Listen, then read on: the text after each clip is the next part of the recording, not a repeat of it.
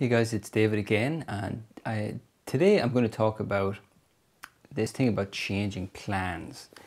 You may have noticed uh, in your own life that uh, from time to time, you know, we make plans and we sign off on it and we think, you know, that's a pretty good plan. I've spent some time thinking about it and I really think that plan's going to help me. And of course, we stick to that plan for maybe a day or two. And then for some reason, although initially that plan seemed like the best plan in the world, we start to sort of question that plan. We start to kind of undermine that plan and really experience a lot of doubt around it, right? And that, of course, leads to that indecision uh, of procrastination. So I'm going to read a question here, uh, well, part of a question, because it's quite a long one. And I'm going to give you five tips then at the end about how to overcome this. Because really, if you understand why this is happening, this questioning of a pretty sound plan you've developed, it'll make it a lot easier, right, to, to understand why it happens and it'll stop happening when we understand it. So the question here, and it's quite a long one, so, but I'm just going to read a, a bit of it. And uh, actually this question was in response to another video I made. But it starts off, it says, thanks for the video. I have a question though. How much free, uh, how much guilt-free fun time would you say one should schedule in if they're starting from rock bottom? Okay, so when overcoming procrastination, I talk about the importance of scheduling in that uh, guilt-free playtime. Neil Fiore talks about that also. And you know, if you're if you're starting from rock bottom, I tell people to schedule in a heck of a lot of guilt-free playtime. Okay, the the the more severely you're entrenched in the pattern of procrastination, the more seriously you have to take guilt-free playtime. So a lot is the answer to that question. At the moment, I set just one hour a day aside to show up and do productive stuff, and the rest of the time, I can technically do anything I want. Now, so far, I'm loving this plan. Okay, this plan sounds fantastic to me, especially if we're starting from rock bottom here. Okay, an hour a day of productive work is moving in the right direction. Sounds fantastic. But watch out for this indecision that's about to come in here. Okay, it says I but I find that often results in me feeling guilty because I have so much hidden expectations that maybe I'll feel productive and get more things done during the fun time. Okay, so now this guilt eh, or this indecision is coming in and it's basically undermining this pretty sound plan that would have led us in the right direction had we been able to follow through with it and not feel you know, doubts about it. So the question goes on for a little bit longer and it's kind of a back and forth about what's the right approach, what's the right plan, how much free time should I have, should I be getting more done in the free time, and you know, trying to find this perfect right balance, okay? And this is kind of part of our issue with this, right? It's some, again, the plan is perfect. This plan is good enough. There's no perfect plan, right? So if we can find out what, why this is happening, it'll make a lot of sense. And I'm going to show it to you here in picture form, what's actually going on. So actually a little quote that helps us here. And this quote is from Christina uh, Imre, and it says, Give space to your thoughts, clear the noise in your head, chit chat with your inner critic, decide and move on. So we're talking about listening. Yep, we, in planning time when we're pro proactively sitting down trying to figure out what's going on, yeah, we listen to the inner critic, okay, and we take on, uh, have a little chit chat with it, and we make a decision and we move forward. Now, what happens is actually often it's complex trauma or trauma from childhood that leads to this problem. Now, if we look at a picture here, it'll, it'll make more sense, right? In terms of your productivity in life, there's two things, and you can see them there on that picture at the bottom. There's two things that are actually trying to have a negotiation. And typically, well, those two things are your personality, which cares about your goals, your dreams, your aspirations, your hopes, your preferences, right? All those beautiful things, your creativity. That's all your personality, and you're born with that. That's an inherent part of who you are. Your personality deals with your nervous system right? And your nervous system couldn't care less about your goals, your hopes, your dreams, and your aspirations. Your nervous system has basically one function, and it is to keep you alive. Okay, it is survival, it is keep you safe.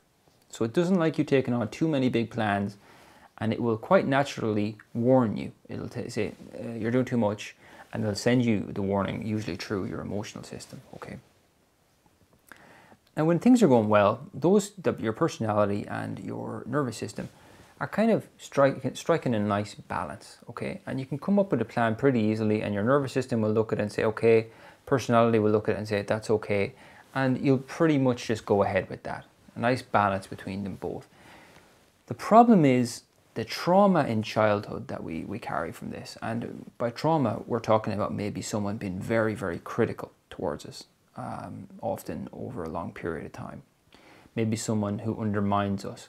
Maybe someone who is overly controlling of us, doesn't give us any autonomy. Um, but mainly it's that undermining thing.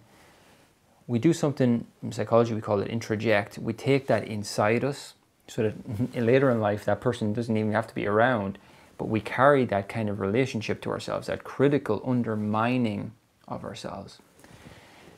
And that inner critic turns its attention to both your personality and your nervous system. It judges every aspect of yourself. So when you're trying to find this perfect plan for yourself, you might say, okay, well, um, being creative uh, might be important here. Inner critic will undermine that. You don't have time to be creative your nervous system might be telling you you need to rest more and maybe play more. Your inner critic will undermine your plan that has uh, guilt-free play in it. Okay, basically you can't win as long as the inner critic is in play, as long as it is the one in charge of being the the judge of your plan. Okay, any plan you could develop the perfect plan, the most beautiful elaborate, sophisticated plan. And if that inner critic is there, and we don't know how to talk to it and disarm it, right, it will undermine any plan we make. So this is why we have this thing where we make a plan and a day or two in, oh, we're talking, we're questioning, we're doubting it. Make another plan, a couple of days in, we're undermining that one again. It's the inner critic. And this is coming from the past. Okay, typically for most of us, it's coming from the past. So what we have to do clearly is we need to, well, here's the five tips I'm going to give based on what I've said so far. Okay, I'm going to really kind of try and simplify it for, for everybody here.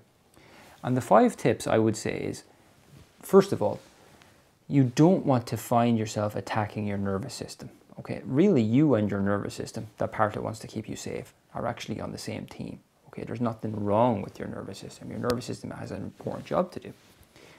So rather than question it ourselves, realize, oh, okay, the need for relaxation and, and to step away from work and to stop and rest is a very, very legitimate need.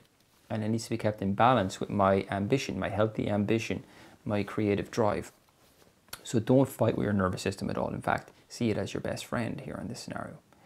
Second thing, I would say, second tip here for this is don't blame yourself when, when guilt and anxiety show up, okay? Because this guilt and anxiety is all coming from the past and it's perpetuated by that inner critic that we have with us. So if you think you're the only one that has this sort of inner critic uh, that makes you feel guilty and anxious, I can promise you that uh, that could that is the furthest thing from the truth possible, right? I'm, I don't really know anybody that doesn't have it to a certain degree. Okay, there's degrees with it, but it's so so common so the most important thing is when you just begin to notice it more and notice the effects that this inner critic, this guilt and anxiety is having on you. Just note become an observer, become a, a watcher of it, and noticer of it, rather than even fighting against it. Now we do want to regain some control here from this, and we'll talk about that now in a moment, which is number three we want to start to question that inner critic. We don't want to start questioning your your personality or your nervous system, which should be working uh, simpatico with each other. What we want to start questioning is this inner critic, this voice that undermines, this voice that puts everything in doubt and uh, it makes us so indecisive. So we use things like CBT, we use things like uh, inquiry or journaling. We're really trying to question these old narratives, old narratives like uh, you have to work harder, you're not working hard enough, you're not good enough, it'll never work, it's hopeless, all that stuff, right? Especially it's not good enough. That's the big one that we get, right, through introjection. So find the tools, okay, and that's what I'm all about, is use, showing people how to use the tools to just quiet that inner critic, and you'll find that the, uh, and, and you know, obviously prioritizing a nice balance between your creative impulse of your personality and your nervous system's need to keep you safe. Needs to be a nice kind of reconciliation between those two parts. But we need to start using those tools. Journaling is the, probably the simplest way I could put that. You'll find out a lot of it when you're just getting in touch with your self-doubt and all those, those different things. Journaling is a great way to get them down on paper and out of here. Okay, talking with somebody is another great way to do that, whether that be um, a professional or a good friend or a family member. So number four here, what I would say is don't push yourself, but seek gradual progress. Okay. So in that, that question that that person sent, it was, you know, they had a plan and it was a plan that was going to lead to gradual progress. Now it may not have been dramatic progress, but it was definitely progress. And that is all we're looking for here. We're not looking for dramatic change necessarily. We're looking for moving gradually in the right direction. Small steps, baby step in this. Okay, so that's number four. And the last thing here, the fifth tip, is typically go with overestimating relaxation time. Okay, so oftentimes people are, are so surprised to find out that the solution for procrastination is compassion. Okay, and compassion means, God, like be kind to yourself. Give yourself plenty of relaxation time, more than probably your inner critic feels comfortable with. Okay, you overestimate the amount of time you're going to be spent in relaxation away from goal related projects entirely with a very clear boundary around that and to be kind of strict on the, the, compassion that you're giving to yourself right? If that makes sense. It's kind of an oxymoron but it's it, it has to be like that. That is the discipline for the time being. It's discipline disciplined kindness for ourselves. So the takeaway from today's uh, video guys is you will notice that this little voice comes in and undermines okay the, the great plan that you may have had for yourself. And just realize as long as your personality feels okay about it you feel excited about the, the, the thing initially and then you're, you're, you're thinking to yourself yeah my nervous system's happy with that. It doesn't feel threatened. It doesn't feel overwhelmed. It's not too much too soon. You can sign off on that plan then during the week, maybe you make that plan for yourself on Sunday or something, and then halfway through the week, you're noticing this doubt about your plan. Just realize that that doubt, that little voice of doubt, is almost certainly this inner critic, okay, that judges everything. It judges your personality and your nervous system, okay, it judges across the board. So you can't win with that.